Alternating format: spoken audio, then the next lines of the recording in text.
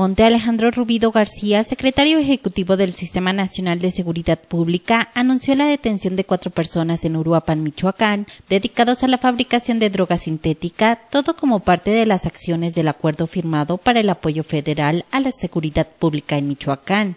El día de ayer, en el municipio de Uruapan, fuerzas federales, como resultado de un trabajo de inteligencia, capturaron a cuatro personas de nombre. Rigoberto Colín Cortés, de 26 años, Miguel Ángel Chávez Quirós, de 31 años, Víctor Hugo Luna Mejía, de 28, y Héctor Chávez, de 40 años de edad. Héctor Chávez fue identificado como un integrante importante de la estructura delincuencial. Se les decomisaron cartuchos, drogas y siete armas largas y dos cortas, entre ellas un lanzacohetes antitanque RPG de fabricación rusa con un cohete. A este último se le identifica como parte importante de una estructura delincuencial. Entre sus tareas era el responsable de supervisar el establecimiento de laboratorios clandestinos para la elaboración de drogas sintéticas y coordinaba el envío de las mismas a los Estados Unidos de América.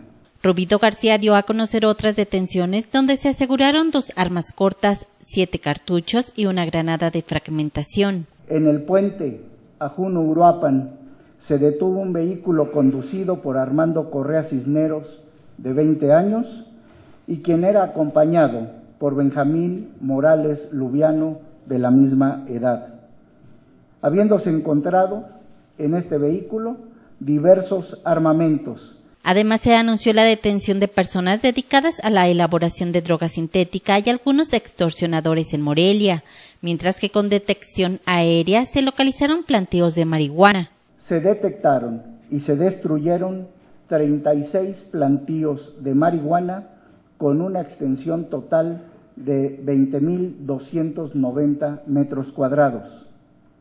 También fueron destruidos cuatro plantíos de amapola con una extensión de 550 metros cuadrados mientras que ante presuntos enfrentamientos ocurridos ayer en el municipio de Parácuaro, el secretario confirmó que fueron una serie de disparos en un lugar de difícil manejo y que se tranquilizó ante la llegada de los federales, suponiendo la existencia de dos puestos de observación.